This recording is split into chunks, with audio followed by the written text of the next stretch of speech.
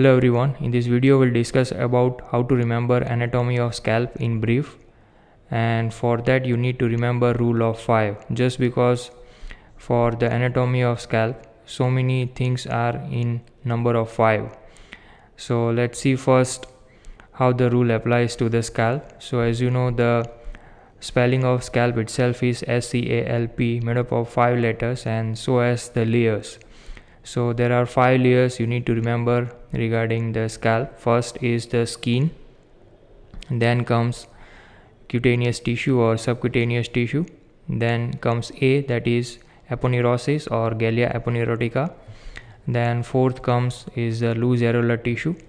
And fifth is pericranium. Now the first layer skin is very thick hairy and it is having rich sebaceous glands. The second layer is having dense fibrous connective tissue with uh, locules containing fat and blood vessels and nerves are traversing through this layer to reach to the skin. The third layer is Galea aponeurotica containing occipitofrontalis muscle containing two bellies of frontal belly and two bellies of occipital belly of occipitofrontalis. The fourth layer is loose areolar tissue containing dead space and that is traversed by emissary veins which is connecting the soft tissue of scalp to the intracranial venous sinuses. And fifth layer is nothing but periosteum of the bones of the vault. So that is pericranium and that is firmly adherent to the sutures. So this is how you can remember layers of the scalp via remembering the spelling of the scalp S C A L P. So for five layers you need to remember this spelling only next is arterial supply. Again you need to remember rule of 5 so this is superior view of the scalp. And this is anterior this is posterior aspect. And this line is dividing the scalp into two halves left and right. So each half is supplied by five arteries three in front of the level of the ear and two behind. Namely supraorbital supratrochlear superficial temporal posteroauricular and occipital artery. So five arteries on each half are supplying the scalp out of this these first two are branches of internal carotid and these three are branches of external carotid. So we can say that across the midline of the scalp there is a free anastomosis between branches of internal carotid and external carotid. Similar like arterial supply the venous drainage is also having a rule of 5 so again similar named veins supraorbital supratrochlear superficial temporal posteroauricular and occipital veins are carrying blood from each halves three in front and two behind the ear. So like five veins on either half or each half are carrying blood. Next is nerve supply. Again you need to remember rule of 5 so similar diagram superior view of the scalp anterior and posterior aspect and these are the two halves left and right now again at the level of ear you need to imagine uh, another plane. So there will be four quadrant and each quadrant right and left anterior and posterior will be having five nerves. Out of five nerves four are sensory and one motor. So total 20 nerves 5 multiplied by 4 are supplying the scalp so again you need to remember the rule of 5 5 in each quadrant. So 5 nerves in front of the plane of ear will be 4 sensory and 1 motor. The 4 sensory are supraorbital and supratrochlear they are branches of ophthalmic division of trigeminal nerve. Third is zygomatico-temporal that is a branch of maxillary.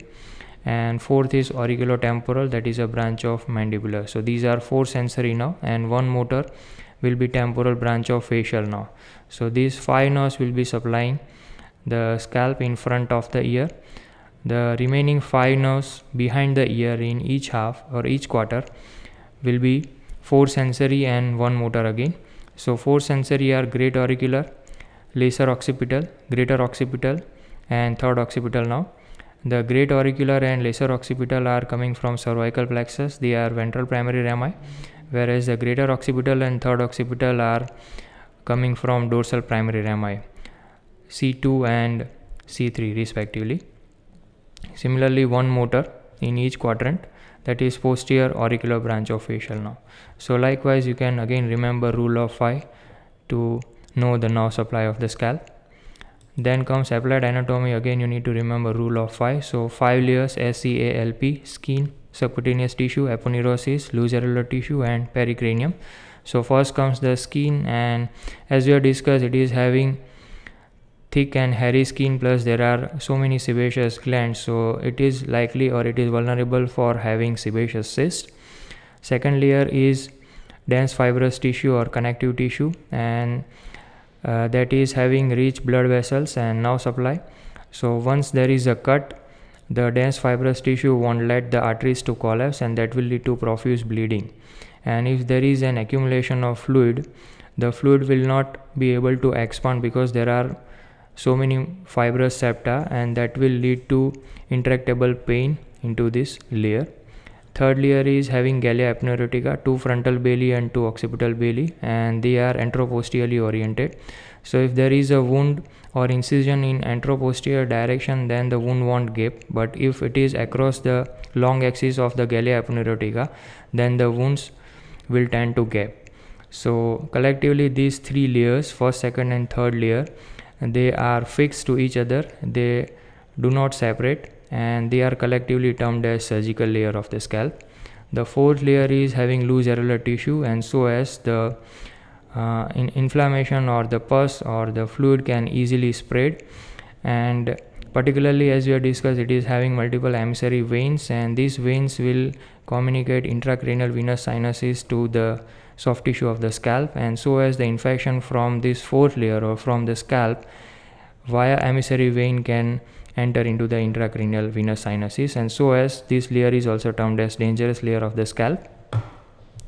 Similarly as it is a loose areolar tissue so blood or fluid can easily spread throughout the fourth layer and that can reach to the subcutaneous tissue or around the eyelid and that can discolorate the eyelid brownish or black in color and that condition is then termed as black eye secondary to the hemorrhage or collection of the blood in the fourth layer.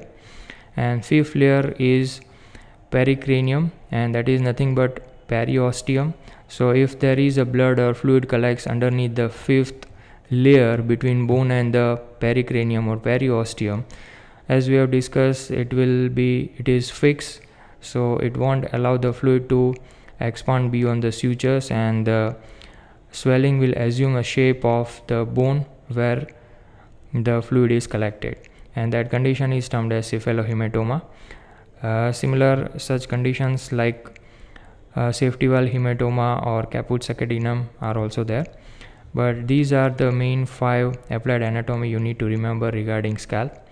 The only exception you need to remember for the anatomy of scalp is its lymphatic drainage where in front of the ear the lymphatic drain to the preauricular or parotid group of lymph nodes and lymph behind the ear will drain to postauricular or mastoid and occipital group of lymph nodes. So here only three sets of lymph nodes are there in on either side.